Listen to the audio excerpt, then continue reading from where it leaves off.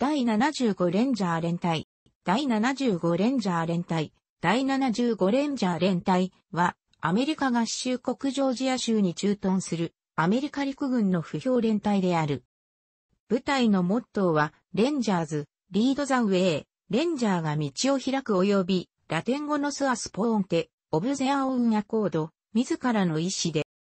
アメリカ陸軍第75レンジャー連隊は、アメリカ陸軍特殊作戦コマンドの傘下に置かれている。ジョージア州、フォートベニングに本部を置く。レンジャー連隊は、通常戦闘と特殊作戦の両方を遂行できる3個、大体規模の精鋭部隊である。遊撃戦を担当し、パラシュート降下も可能である。米陸軍有数の柔軟性を誇り、常時1個大隊が短時間、18時間以内で、世界中に展開できる緊急即応部隊でもある。特殊部隊の支援を担当することも多く、この部隊も特殊部隊と扱われることも多い。また、同隊で訓練と経験を積んだ後、グリーンベレーに入隊するケースが多く、グリーンベレー養成機関とも言える部隊である。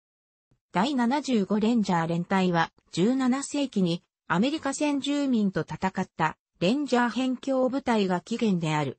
18世紀に入り、ロバート・ロジャーズ少佐、1731年から1795年が1756年に9個中隊で構成され、レンジャー部隊を編成し、フレンチ・インディアン戦争、7年戦争における北米大陸での戦争を示すでゲリラ戦を展開し、アメリカ独立戦争と南北戦争にも参加した。しかし、現代のレンジャー部隊が誕生したのは、第二次世界大戦が勃発してからである。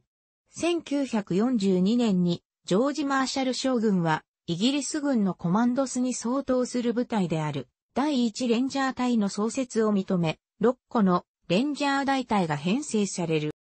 特殊部隊となったレンジャーは、訓練をイギリス軍のコマンド特殊訓練施設で受け、ウイジンモコマンドの指揮下で、奇襲上陸作戦ジュビリーを戦った。その後、これらレンジャー部隊は、第二次大戦におけるイタリア戦線に投入され、第一特殊任務部隊、後のグリーンベレー前進部隊と共に素晴らしい活躍をする。また、レンジャー部隊は、ビルマ北部において、孫立人が率いた中華民国陸軍部隊と共に、日本軍とも戦った。部隊のエンブレムにある白日マークはその名残である。朝鮮戦争では、陸戦放棄を無視した北朝鮮軍のゲリラ戦対策として投入される。その後、レンジャー部隊は解散されたが、レンジャーの訓練プログラムはアメリカ陸軍兵たちにリーダーシップ訓練を提供し続けた。だが、レンジャーはベトナム戦争の最中、第75不評連隊の13個目の小隊として復活。1974年にレンジャー部隊は第75レンジャー不評連隊第1大隊と第2大隊として正式に再編された。1980年代に新たに3個目の大隊、第3大隊が編成され、レンジャー連隊の兵力はおよそ2500人となった。70年代中頃から現在に至るまで、アメリカ陸軍の主要な作戦には必ず参加している。代表的な任務は、空挺効果による強襲や爆破工作、隠密偵察、目標回収任務などがある。他には、アメリカや同盟国の常備軍の支援なども行う。また、敵後方での任務にあたる重心偵察小隊、特殊訓練を施された水中工作員を保有している。第75レンジャー連隊は、連隊本部と3個、レンジャー大隊から編成されている。緊急即応部隊という連隊の任務から、毎月、レンジャー大隊のうちの1個が、レンジャー即応部隊、RR 会、レンジャーリスポーンスフォースに指定され、指令から18時間以内に作戦出撃が可能な体制をとっている。それぞれのレンジャー大隊は660名の兵員、定数580名及び15%の予備人員を有し、本部中隊及び3個小銃中隊、各152名に編成している。各中隊は、本部小隊と3個小銃小隊、武器小隊より編成されている。武器小隊は、2個迫撃砲班、それぞれ M224-60mm 迫撃砲1門、さらに予備1門と1個対戦車班、射撃組3名、3、それぞれにカール・グスタフ無反動砲、 RAAWS、Ranger Anti-Armor Weapon System と呼称1門、狙撃班より編成される。また、大隊本部中隊には、12両の RSOV、Ranger Special Operations Vehicles、ランドローバーディフェンダーに武装を搭載した車両が配備されるほか、迫撃砲については、より大型だが強力な M252 81mm 迫撃砲、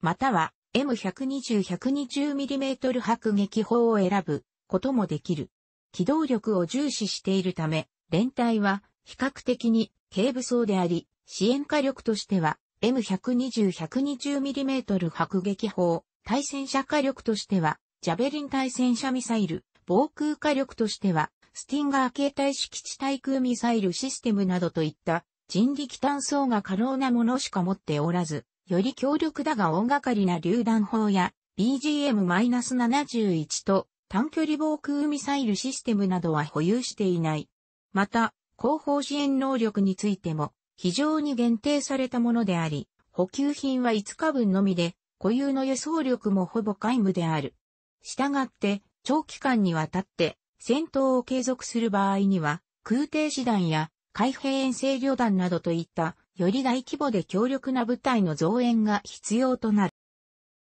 る。レンジャー連隊は、ジョージア州、フォートベニングに連隊本部があり、ここにはレンジャー訓練旅団が置かれている。ここでリーダーシップ訓練や長距離偵察訓練を施している。レンジャー部隊に志願できるのは空挺資格を持つ陸軍兵のみである。将校は、ロップ、レンジャー基礎指導プログラムを、下士官は、リップ、レンジャー強化プログラムをそれぞれ受けることにな。ここで志願者の肉体と精神両面の適性が評価される。ロップ、またはリップに合格したら、兵士はレンジャー訓練生として、レンジャー大隊に配属される。そこで、レンジャー式戦闘の基礎を学ぶ。これが、レンジャー学校で過酷な2ヶ月のリーダーシップ課程で、通常は大体に配属されて9から12ヶ月後に送られる。訓練課程には山岳戦や